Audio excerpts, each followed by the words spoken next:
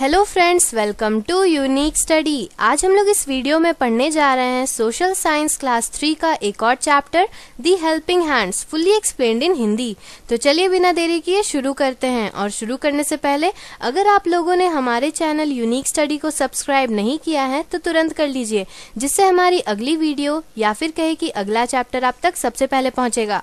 So let start A town और city wherever we live, we are always surrounded by people. We cannot live alone in this world. In a family, the family members help each other. In a neighborhood, one family may help other in times of need. At school, the classmates help each other and teacher help the students. Thus, anywhere we go, we need the help of people around us for happy life. हम लोग कहीं भी रहते हैं जहाँ की town हो city हो या फिर विलेज हम लोग जहाँ भी रहते हैं हम इंसानों द्वारा सराउंडेड रहते हैं। हम लोग अकेले इस दुनिया में नहीं रह सकते हैं। जैसे कि एक फैमिली फैमिली में हमारे फैमिली मेंबर्स एक दूसरे को हेल्प करते हैं। नेबरहुड, यानी कि आस पड़ोस के लोग भी अपने फैमिली में हेल्प करते हैं। स्कूल में क्लासमेट्स एक दूसरे का हेल्प करते हैं और टीचर भी स्टूडेंट्स का हेल्प करते हैं। इसीलिए हम लोग कहीं भी जाते हैं तो हमें इंसानों का हेल्प चाहिए होता है ताकि हम लोग एक अच्छा लाइफ जी सके। बहुत सारे पीपल है जो हमें हेल्प करते हैं और दूसरों को भी सर्व करते हैं, जैसे कि teachers doctors policeman and postman let's read how they help तो ये सब जो व्यक्ति हैं डॉक्टर टीचर ये सब हमें किस तरीके से मदद करते हैं, उसके बारे में पढ़ते हैं। The teacher the teacher teach us to read and write teacher हमें पढ़ना और लिखना सिखाते हैं। वो हमें सिखाते हैं कि कैसे हम लोग ड्राइंग कर सके पेंटिंग कर सके, गाना गा सके, नाच सके और बहुत सारे चीज़ वो हमें सिखाते हैं। वो स्टूडेंट्स को इंकरेज करते हैं ताकि वो लोग बहुत सारे एक्टिविटीज़ में टेक पार्ट वो अपना पार्टिसिपेशन दे सके और स्टूडेंट्स को हेल्प करते हैं ताकि वो जिस इंटरेस्ट में है, जिस एरिया में वो इंटरेस्टेड है, उसमें वो अच्छा काम कर सके बेस्ट कर सके। टीचर बहुत सारे टीचिंग एड्स यूज़ करते हैं। पढ़ाने का तरीका, जैसे कि चार्ट्स मैप्स मॉडल्स और बहुत चीज़, जिससे कि जो स्टूडेंट्स है, वो बेहतर तरीके से समझ पाए, जो टीचर समझाना चाहते हैं। दस he or she makes learning easy and fun तो जो भी हम लोग पढ़ाई, लिखाई करते हैं, वो टीचर हमारे लिए बहुत आसान कर देते हैं और फन के लिए कर देते हैं। The teacher also maintains discipline in the class and inculcates values and good habits in students. Teacher class में डिसिप्लिन भी मेंटेन करने में हेल्पफुल होती हैं। वो स्टूडेंट्स को सिखाती हैं कि कैसे गुड हैबिट्स अपनाया जाए और डिसिप्लिन क्लास में रखा जाए। He or she help students in case of any problem and acts like a friend as well as a guide अगर कोई भी स्टूडेंट्स को प्रॉब्लम होता है, कोई दिक्कत आती है किसी भी फ़ील्ड में तो जो टीचर्स होते हैं, वो फ्रेंड की तरह उन्हें गाइड करते हैं। Thus, the teacher helps in the overall development of students, helping them to become good citizens. We should always respect our teachers. तो टीचर पूरे स्टूडेंट्स के ओवरऑल डेवलपमेंट में बहुत हेल्पफुल होती हैं वो सिखाती हैं स्टूडेंट्स को कि एक अच्छा सिटीजन अच्छा नागरिक कैसे बना जाए इसीलिए हमें अपने सारे टीचर्स को रिस्पेक्ट करना चाहिए सेकेंड है the doctor The doctor looks after our health. She, he do not only gives medicine to cure us from our illness but also tell us the kind of food we should eat. The doctor advises us to follow certain rules of hygiene to stay fit and healthy. If we follow the advice of a doctor, we can prevent ourselves from falling sick too often. Doctor हमारा स्वास्थ्य का ध्यान रखती हैं चाहे वो doctor mail हो या फीमेल वो दोनों ही डॉक्टर होते हैं। वो हमारे हेल्थ के लिए बहुत ही मेहनत करते हैं। वो हमें मेडिसिन ही नहीं देते हैं, बल्कि वो हमें बताते हैं कि किस तरह का खाना खाने से हम अपने इलनेस से ठीक हो सकेंगे। कैसे क्योर हो सकेंगे इलनेस से?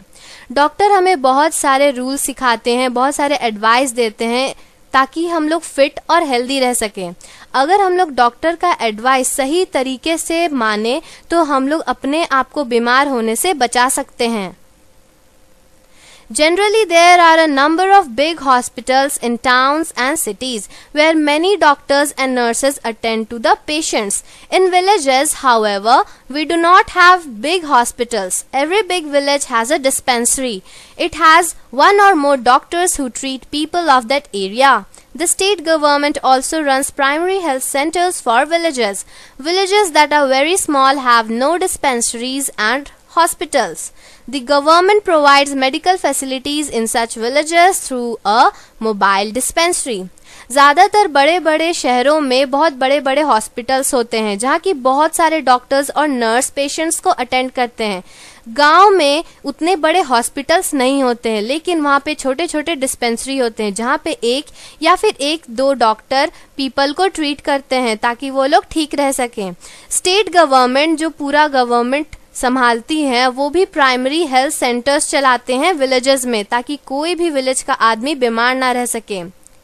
विलेज में बहुत ही छोटे छोटे डिस्पेंसरीज और हॉस्पिटल्स होते हैं तो गवर्नमेंट भी बहुत सारे मेडिकल फैसिलिटीज़ इन गाँव में भेजती है, ताकि उन्हें कोई भी दिक्कत ना हो। There are special doctors for treating sick animals. These doctors are called veterinary doctors. तो कुछ डॉक्टर्स ऐसे भी होते हैं जो कि बीमार जानवरों को ट्रीट करते हैं और जो डॉक्टर बीमार जानवरों को ट्रीट करते हैं, उन डॉक्टर्स को वेटेरिनरी डॉक्टर्स कहा जाता है थर्ड हेल्पर है the policeman The policeman or policewoman protects our life and property. He she works for a better society. He she maintains law and order in an area by catching thieves, criminals and such people who try to harm the general people. The policemen also keep the crowd under the control in crowded places like fairs and markets, especially during festival times. जो policeman होते हैं वो हमारे life और हमारे property को protect करते हैं वो समाज को अच्छी तरह से बेटर सोसाइटी बनाने में लगे रहते हैं। वो सारे लॉ और ऑर्डर को, हर एक नियम कानून को मानते हैं और जो भी चोर होते हैं क्रिमिनल्स होते हैं और जो पीपल जो जनरल जो कॉमन पीपल को हार्म करना चाहते हैं तकलीफ़ पहुंचाना चाहते हैं, उन सबको पकड़ के जेल में डाल देते हैं। पुलिस जो है वो फेस्टिवल के टाइम्स पे या फिर मार्केट हो या फेयर्स में जहाँ मेला लगता है, वहाँ पे भीड़ को कंट्रोल करने का भी काम करती हैं। The policemen also help to control traffic on the busy roads of towns and cities. These policemen are called traffic policemen. The traffic policemen control the traffic on the roads, helping to prevent traffic jams. By following the traffic signals and instructions given by the traffic policemen, we can avoid accidents. तो जो policeman traffic जो busy road पे बहुत बड़े बड़े traffic हो जाते हैं, उन्हें जो कंट्रोल करते हैं, उन पुलिसमैन को हम लोग ट्रैफ़िक पुलिसमैन कहते हैं। ट्रैफ़िक पुलिसमैन जो हैं, वो रोड में जितने भी ट्रैफ़िक होते हैं, उन्हें कंट्रोल करते हैं ताकि ज़्यादा बड़े जाम ना लग जाए और जो एंबुलेंस फंसी होती है, वो सब आसानी से जा सके। ट्रैफ़िक सिग्नल्स को फॉलो करने से हम लोग एक्सीडेंट्स को भी अवॉइड कर सकते हैं। Fourth है the postman.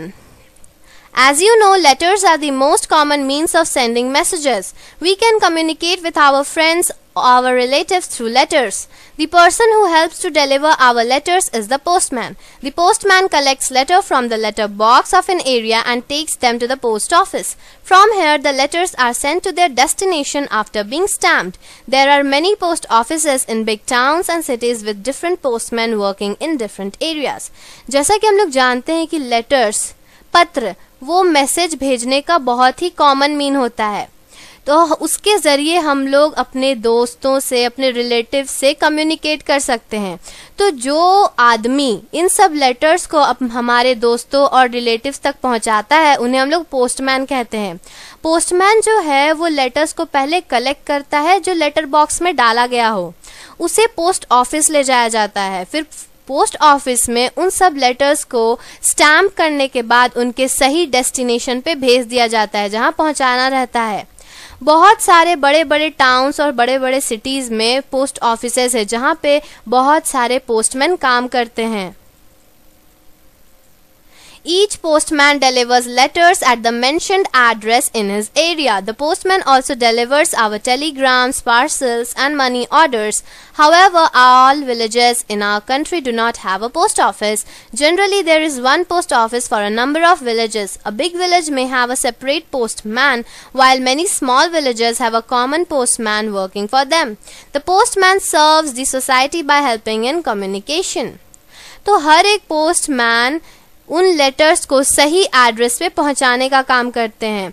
पोस्टमैन सिर्फ़ लेटर्स ही नहीं, वो टेलीग्राम्स पार्सल मनी ऑर्डर ये सब भी उनके सही एड्रेस पे पहुंचाते हैं। वैसे सारे विलेजेस में जो हमारी कंट्री है, वहाँ पे ज़्यादातर पोस्ट ऑफ़िस नहीं होते हैं। जनरली वहाँ पे एक पोस्ट ऑफ़िस होता है ताकि बहुत सारे विलेजेस के लिए।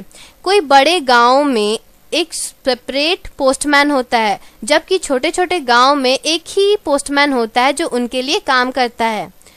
तो पोस्टमैन हमारे सोसाइटी को हेल्प करता है ताकि हम लोग अपने फ्रेंड्स और रिलेटिव्स जो ज़्यादा ही दूर दूर में रहते हैं, उनसे कम्युनिकेट कर सके। So we should be grateful to these people who help us in our day to day life If you want the explanation and answers of the next chapter, please subscribe our channel. और अगर आप इसी तरह और भी chapters का Hindi explanation चाहते हैं और आंसर के साथ तो तुरंत हमारे चैनल को सब्सक्राइब कर लें और बेल आइकन दबाना ना भूलें जिससे कि हमारी अगली वीडियो या फिर कहे कि अगला चैप्टर आप तक सबसे पहले पहुंचेगा So thanks for watching and if you like this video don't forget to like, subscribe and share.